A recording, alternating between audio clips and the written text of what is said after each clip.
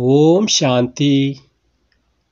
அல்லாஹ் சிவன் பரமபிதா என்று அழைக்கக்கூடிய இறைவனைத்தான் நாம் பாபா என்று அழைக்கின்றோம். ஏனென்றால் நாம் எல்லோரும் அழிவற்ற ஆத்ம சகோதர உறவுகள். நமக்கெல்லாம் தந்தையாக இருப்பவர் அந்த இறைவன். அவரைத்தான் நாம் பாபா என்றும் தந்தை என்றும் அழகாக அழைக்கின்றோம்.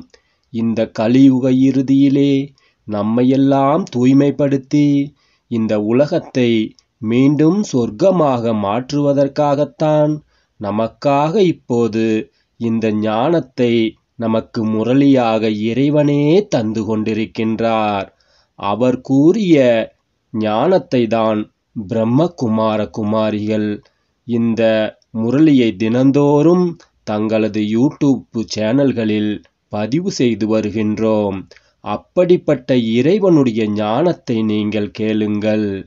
நாம் சொர்க்கத்திலே பதினாறு கலைகளோடு தூய்மையாக நாம் சந்தோஷமாக கவலைகள் இன்றி நாம் வாழ்ந்து கொண்டிருந்தோம். அப்படிப்பட்ட சொர்க்கத்தில் நாம் ஆத்ம நினைவிலே தூய்மையாக வாழ்ந்தோம். அப்படி தூய்மையாக பதினாறு கலைகளிலிருந்து நம்முடைய கலைகளை இழந்து இப்போது இந்த உலகத்தில் இந்த நரகத்தில் துன்பப்பட்டு கொண்டிருக்கின்றோம். நம்முடைய கலைகள் குறைந்ததை போல இந்த உலகமும் பஞ்ச தத்துவங்களுமே இப்போது தூய்மையற்று இழக்கின்றது. இந்த தூய்மையற்ற உலகத்தை மீண்டும் நாம் தூய்மையாக மாற்ற வேண்டும். என்பதற்காகத்தான் இறைவனால் கொடுக்கப்பட்ட இந்த முரளியை தினந்தோறும் கேட்டு தூய்மையான குணங்களை தாரணை செய்யுங்கள். இறைவன் கூறிய இந்த முரளியை இப்போது நாம் சுருக்கமாக பார்ப்போம். இறைவன் கூறுகின்றார் இனிமையான குழந்தைகளே புண்ணிய ஆத்மாவாக ஆவதற்காக எவ்வளவு முடியுமோ அந்த அளவிற்கு நல்ல காரியங்களை செய்யுங்கள். அனைத்து வகையான சேவை செய்பவர்களாக ஆகுங்கள். தெய்வீக குணங்களை பதினாறு கலைகளையும் நீங்கள் தாரணை செய்யுங்கள். இந்த முயற்சிகளை செய்து நீங்கள் தூய்மையாக சொர்க்கத்தில் இருபத்தோரு பிறவிகளுக்கும் செல்வந்தர்களாக ஆகப் போகின்றீர்கள். கெட்ட பார்வையை நாம் தவிர்த்துவிட வேண்டும். விடாமுயற்சியின் காரணமாக நாம் குற்றமற்றவராக நாம் தந்தையின் நினைவிலிருந்து பல பிறவிகளுடைய பாவங்களை எரித்து நாம் சொர்க்கத்தின் பல ஜென்மங்களுக்கு நாம் செல்வந்தர்களாக ஆகப் போகின்றோம். எனவே தந்தை கூறும் ஞானத்தை நாம் கேட்க வேண்டும். தந்தை இந்த ஞானத்தை ஒரு சரீரத்தில் ஒரு உடலின் மூலமாகவே பேச முடியும் என்பதற்காகத்தான் இந்த வயதான முதியவரின் உடலிலே பிரவேசம் செய்து இவர் மூலமாக இந்த ஞானத்தை கொடுக்கின்றார். எனவே இந்த அவர் நம்முடைய இறைவன் எப்போதுமே இந்த பூமியில் நம்மை போல உடல் எடுத்து பிறப்பதில்லை. அதனால்தான் பிரம்மாவின் மூலமாக நமக்கு இந்த ஞானத்தை கொடுக்கின்றார். எனவே ஆத்ம சகோதர சகோதரிகளே இறைவனுடைய ஞானத்தை கேளுங்கள் என்று இந்த பதிவின் மூலமாக கேட்டுக்கொள்கின்றேன்.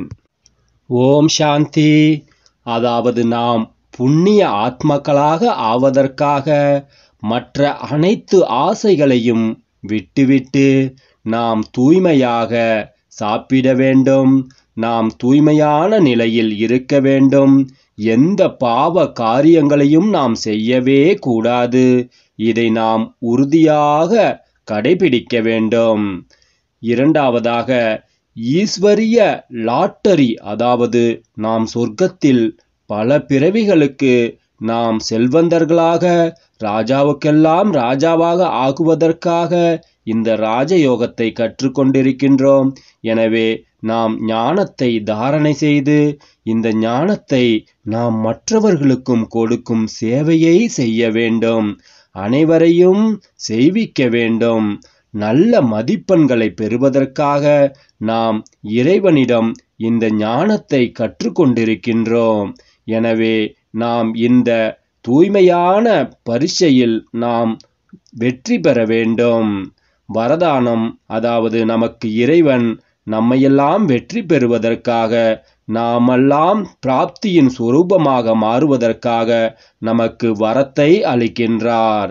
சம்பூர்ண தன்மை அடைவதன் மூலமாக நாம் மிகவும் சொர்க்கத்தின் நெருங்கி அருகிலே சென்று கொண்டிருக்கின்றோம். நாம் எந்த அளவிற்கு தூய்மையாகின்றோமோ அந்த அளவிற்கு நாம் பலனையும் அனுபவிக்கப் போகின்றோம். ஓம் சாந்தி. மேலும் நம்முடைய சேனலை சப்ஸ்கிரைப் செய்து மேலும் ஷேர் செய்யுங்கள். ஓம் சாந்தி. ஓம் சாந்தி.